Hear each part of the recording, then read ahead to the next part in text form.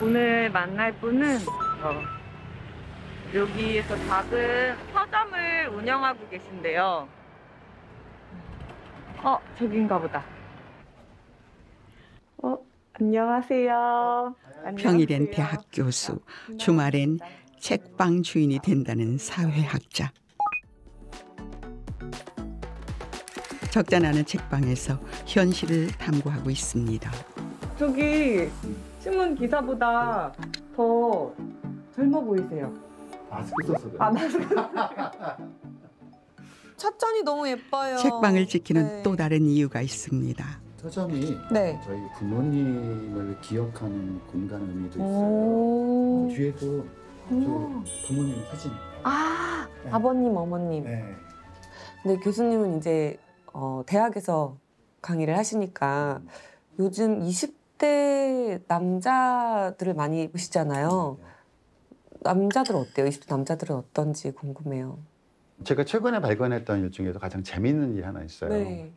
그러니까 페이스북에서 네. 학생들이 이렇게 어떤 사진 하나 올렸어요. 어.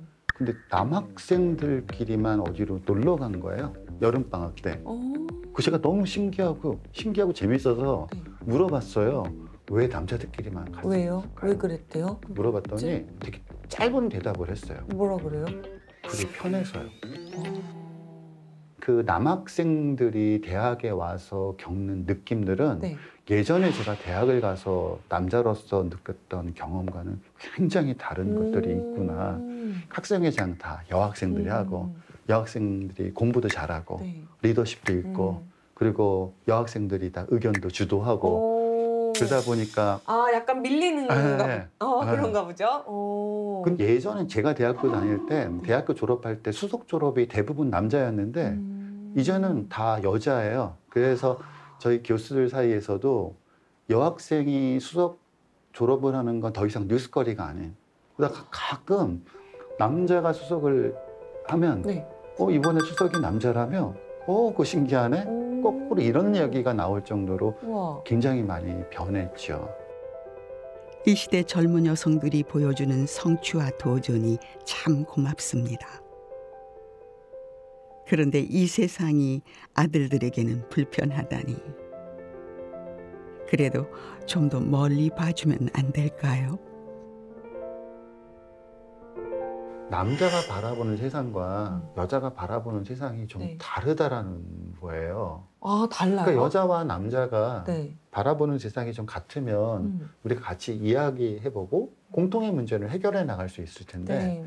여자가 생각하는 것과 남자가 네. 생각하는 현실 인식에 네. 조금 차이가 있다는 오. 제가 그런 관련된 뭐 오. 책을 한번 네, 보여드릴게요. 어디 있더라? 음. 아. 오. 음, 요게 이제 20대 네, 남자. 남자들을 연구한 거예요. 네. 남성 차별 문제 심각한가라는 질문에 네. 여자는 매우 심각하다 5.4%. 네, 네, 네.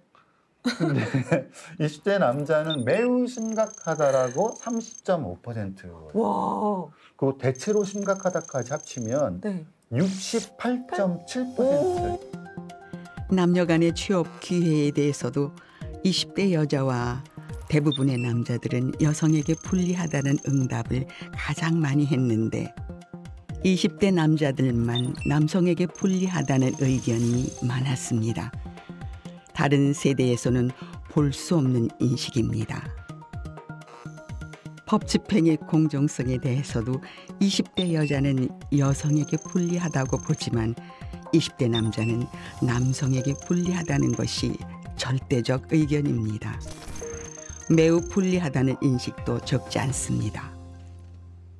오, 진짜 그 남자, 여자의 생각하는 차이가 정말 크네요. 음. 그러니까 갈등이 발생 왜 발생할까 거기에 대해서는 굉장히 여러 가지 해석이 있을 수도 있지만 음.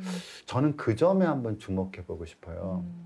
차별받고 있거나 음. 부당한 대접을 받고 있는 사람들은 음. 현재의 지배적 가치관이 바뀌어야 된다고 그쵸. 생각을 해요. 네. 그러니까 여자들은 남성 중심적인 문화가 음. 지속되는 상황 속에선 네. 이게 바뀌어야 된다. 어. 그러니까 변화의 속도가 여자들은 더 빠른 거예요. 아. 그더 절실하죠. 음. 남자 입장에선 네. 절실하지는 않아요. 음. 왜냐하면 저도 살면서 음. 남자이니까 남자라는 이유로 음. 부당한 대접을 받는 경험은 음, 사실 없었어요. 거의 없거든요. 어, 그리고 남자이기 때문에 밤길을 거닐면서 네. 어떤 성폭력에 대한 어. 위험을 느낀다던가 낯선 사람과 엘리베이터 안에 탔을 때 밤 늦게 네. 그때 뭐 어떤 공포를 느낀다라든가 그런 건 저는 살면서 거의 느끼지 못하는 거예요. 그 남자들은 그런 건 네. 바뀌어야 된다는 생각을 음. 되게 생각을 오래 해야 되는 거예요. 그러니까 느리셔. 그렇구나. 그러다가 보니까 어떤 일이 벌어지냐면 네. 여자가 훨씬 더 빨리 변했어요. 네. 그 이상한 나라의 앨리스, 어. 나 혹시 아시죠? 네네네네. 그 후속으로 나온 게 네. 거울 나라의 앨리스라는 게 있어요. 어. 근데 거기에 레드 퀸, 네. 붉은 여왕이 나오는데 앨리스하고 이제 붉은 여왕이 어디를 향해서 가는 거예요. 음. 막 열심히 걸어요. 걸었으면 공간 이동을 했으니까 음. 주변이 바뀌었어야 되잖아요. 네. 안 바뀐 거예요. 어. 나 열심히 걸었는데. 네.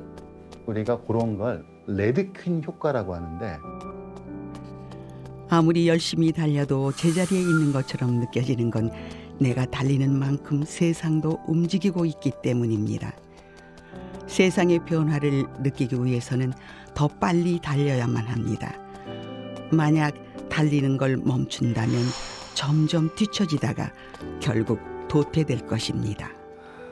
남자들은 아 난 변했는데 음. 왜나안 변했다 그러는 거야. 어. 그러는 거고 어. 또 이제 반, 저 여자 쪽 입장에서 보면 아니 그거 변해놓고 음. 그렇게 변했다고 그렇죠. 큰 소리를 치는 거야. 그렇죠. 더 변해야 되는데 음. 아직 변화가 부족한데 그러니까 이제 서로 갈등이 아, 갈등이 생길 수밖에 없네요, 진짜. 각자의 처지에 따라 세상을 다른 눈으로 봅니다. 남성과 여성 그 사이에서도 그러한 걸까요?